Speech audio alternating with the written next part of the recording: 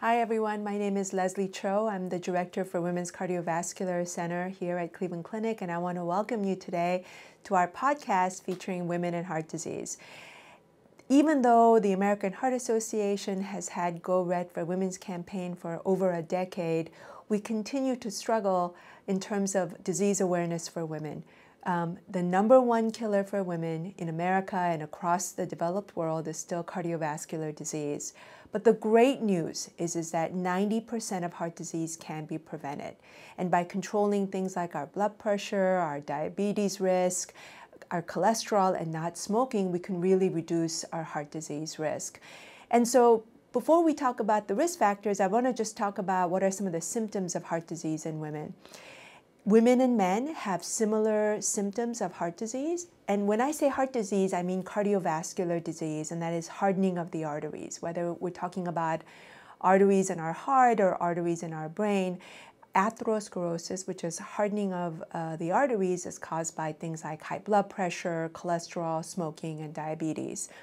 And the symptoms for atherosclerosis in the heart is chest pressure or chest tightness when we're exerting ourselves. So commonly people will say they don't have pain, but they have chest pressure or chest tightness when they're exerting themselves.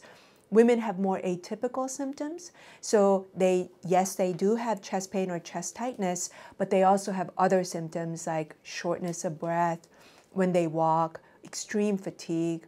And so they'll say to me, oh, you know, last year I could walk three blocks without a problem, and now I can barely walk a block without becoming extremely short of breath or being very fatigued. And that is an atypical symptom, but that is something we look for in women. Women also have other symptoms like nausea, or sometimes they will have jaw pain, or they have uh, tingling down their arm as the manifestation of cardiovascular disease. What's really important when we have these symptoms is not to become our own Google doctors, but to really seek um, help of your healthcare professionals.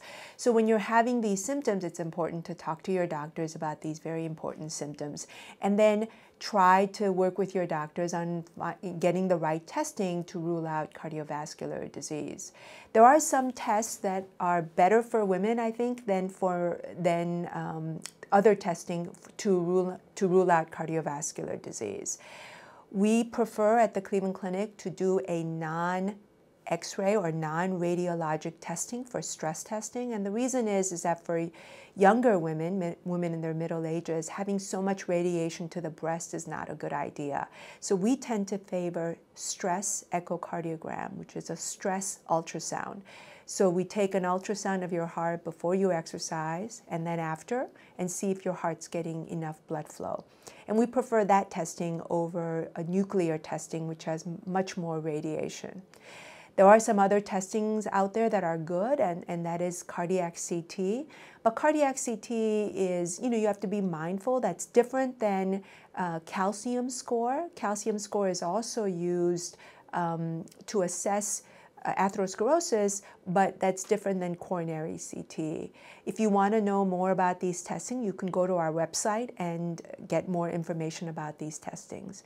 And then finally, I want to end with the good news about heart disease. The great news about heart disease is that it's preventable and that if you seek the right treatment, you can have a great quality of life and have longevity too.